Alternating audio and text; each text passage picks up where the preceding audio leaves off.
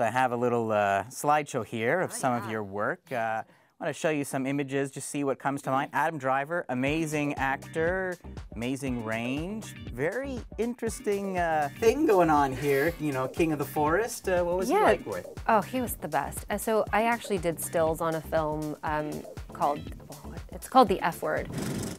I just had sex. I'm about to eat nachos! I think it's called something else in, uh, in, Yeah, yeah. in What if?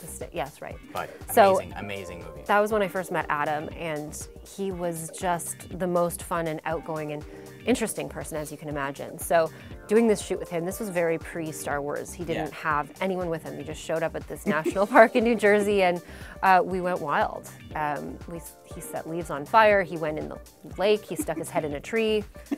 leaves everywhere. You know, it's. Uh, it's a real joy to have someone who feels so creatively free. so Billie, I mean, if I can find what's interesting, we've got kind of the two sides of Billie, and I Mm-hmm. think there can be a very composed image of Billie, which is a little more uh, serious, Mm-hmm. and certainly you've captured some of that. But then there's, I know in some of our interviews, there's another side. So talk to me about like those choices and like, do you have that conversation of like, which Billie are we getting today, or As a photographer, I'm just there for the ride and I'm happy to just capture what she wants to put forward. She knows exactly who she is.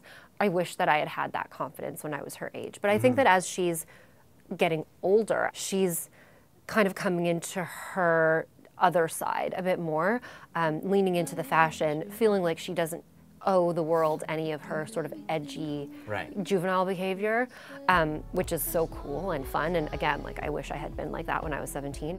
back to Star Wars? Yeah. Uh, Carrie, what a, what a, I, I gotta imagine this was a, a blast. Carrie is a, I mean, she was just, uh, I mean, you can tell without ha- having met her or spent any time with her what kind of a person she was, but she was some something really special. Um, she, we did this project for uh, a web series I was working on where we photographed celebrities with their pets, and nobody loved their pet more than Carrie loved Gary. Gary, look at Oh that. man, and um, their bond was uh, unbreakable. They're just the most special connection. Um, and she too was just uh, very comfortable in herself, Yeah. very confident. Um, just the kind of person you want to spend more time with. Amazing. Uh, our very own. Dogs. So dogs is like a real theme here. just a shocker. That I imagine that must have been uh, challenging. So this was the best day. Yeah. First of all, it was my birthday. Nice. Happy birthday, Caitlin! We brought dogs in from a rescue organization called Lost Boys Hope and had the puppies running wild. And it was just about the best thing I could have ever imagined for my birthday. I mean, the thing about Dan is that he he also knows who he is, right? Yeah. He knows exactly who Dan Levy is and how he's separate from his family legacy. Um, and just my job to bring that forward and just to have fun and just be silly, but be sexy and be fun and be free. Uh, it was a really good day. And then we have uh, your pal Aubrey here. Never heard of him. All right. Quite a few photos with him, of course, very famous one.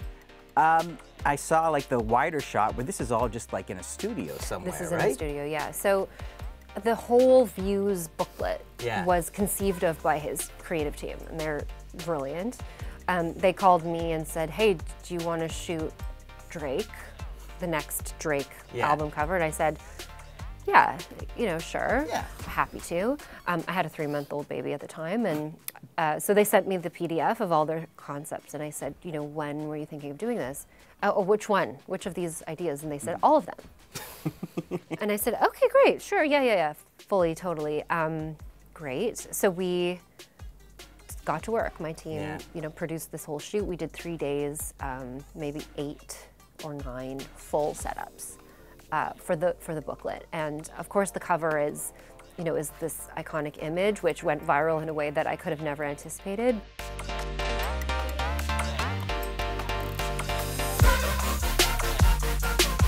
Someone who's very aware Mm. of herself. Mm-hmm. I, I mean, I wonder how you, you get someone to lower their their defenses and just you know, Well, this was a very long time ago. Yeah. Let me tell you, this was for Holt Renfrew uh, during the Suits era. Oh, this was okay. a, a pre-Harry era. Okay. So things were quite a bit Right. different, I would say, at that the shields hadn't gone full up yet. No, no. This was a um, a pre-royalty Meghan Markle version. So I think um, Do you still see that Meghan now when you kind of just see her come across your TV or No. Instagram? no. I mean, Yeah. how, you, how can you not change? Yeah. Right when when that becomes your life, but.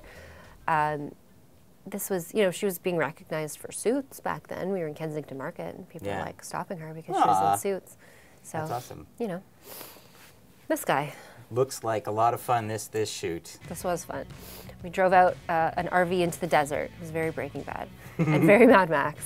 Um, this was for uh, L'Uomo Vogue, and it was uh, just a joy.